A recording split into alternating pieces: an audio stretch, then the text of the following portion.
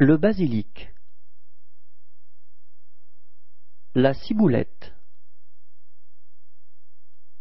La coriandre. L'estragon.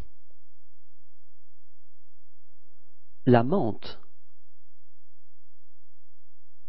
Le persil.